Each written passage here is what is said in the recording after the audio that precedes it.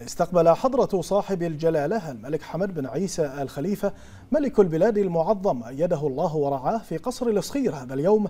سعادة الدكتورة جليلة بنت السيد جواد وزيرة الصحة والدكتور جورج شريان الرئيس التنفيذي كبير المسؤولين الطبيين في مستشفى الإرسالية الأمريكية الذي تشرف بتقديم هدية لجلالته عبارة عن مجسم للمستشفى الجديد الذي تم افتتاحه مؤخراً.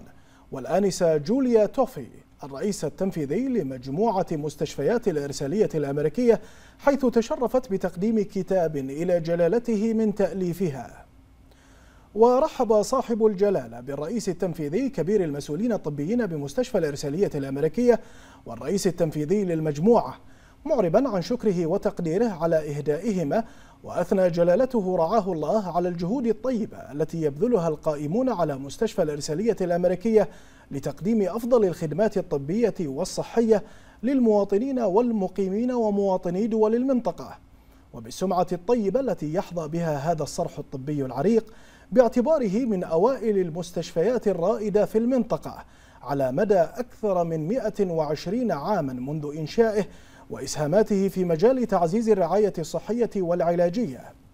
مشيدا جلالته بعمق العلاقات التاريخية الوثيقة التي تجمع بين مملكة البحرين والولايات المتحدة الأمريكية وبتعاونهما الوطيد على كافة المستويات لا سيما في المجالات الطبية والصحية.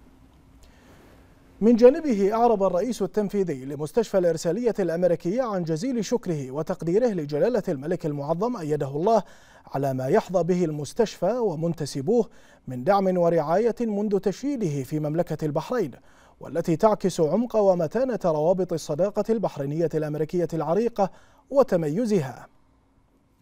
وخلال اللقاء قدمت جوليا توفي الرئيس التنفيذي للمجموعة كتابا بعنوان رحلة عبر الزمن عن تاريخ الإرسالية الأمريكية منذ بدايته عام 1902 إلى الوقت الحاضر بالإضافة إلى مجموعة من الصور التي يضمها الكتاب.